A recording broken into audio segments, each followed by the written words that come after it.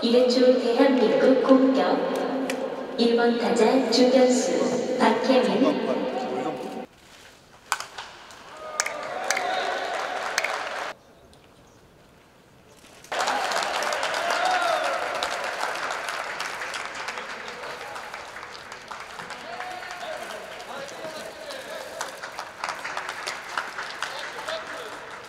5번 타자 이미수 오재일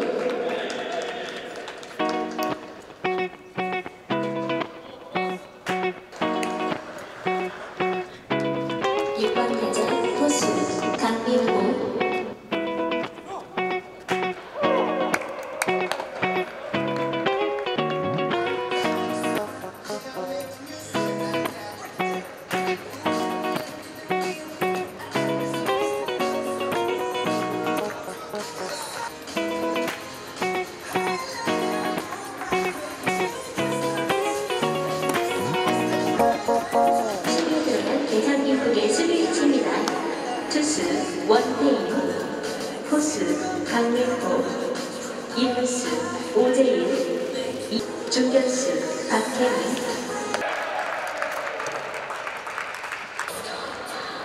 김